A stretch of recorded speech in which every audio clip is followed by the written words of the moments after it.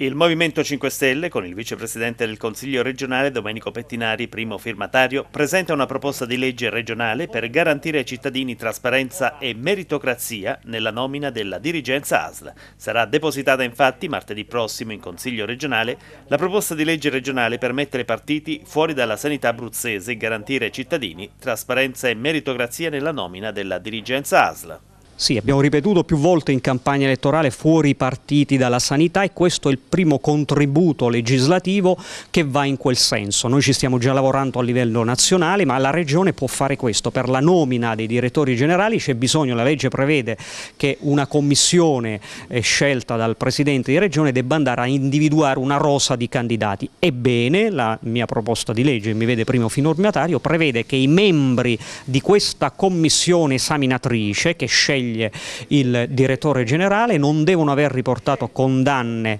anche non in via definitiva per reati contro pubblica amministrazione, non devono aver percepito o avere rapporti professionali con le ASL, non devono perseguire attività eh, in contrasto con i principi del Servizio Sanitario Nazionale, non devono aver svolto nei dieci anni precedenti incarichi politici, non devono aver fatto un carico di commissario per più di due mandati. Ecco, queste sono norme stringenti, requisiti e criteri criteri che andrebbero veramente a mettere a blindare la commissione esaminatrice, perché se noi vogliamo appunto che i direttori generali vengano scelti secondo criteri di meritocrazia e trasparenza, dobbiamo anche prevedere che la commissione esaminatrice venga scelta secondo eh, criteri di meritocrazia e trasparenza.